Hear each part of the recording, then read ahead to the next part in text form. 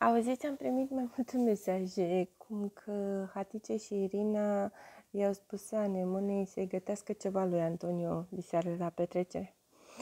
Pe mine, sincer, m-a mirat doar simplu fapt că știți cum e Hatice, gen Mihai n-are voie să clipească. Ce să clipească? N-are voie nici să respire. Și mă gândeam de ce ar face ea treaba asta. Dar bănuiesc că la un moment dat rata se va întoarce, că știți cum e. Adică dacă tu, ca femeie extra, mega, super geloasă, o pui pe una să-i uh, facă și cane altei femei, mie mi se pare că cumva nu prea e ok ce se întâmplă. Eu nu spun acum că Anemona nu ar trebui să-i gătească lui Antonio, ba din potrivă, să-i gătească, să-i facă ce vrea ea.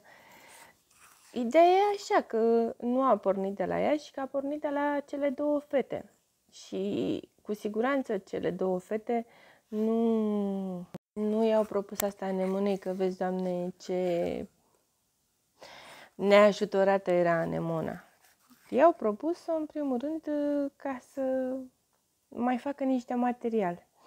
Dar, mă repet, atât este deranjant faptul că ținând cont de reacțiile Haticei și de felul de a, cum se comportă ea atunci când este vorba despre Mihai și o altă persoană, ă, nu cred că ar fi fost tocmai potrivit acest comportament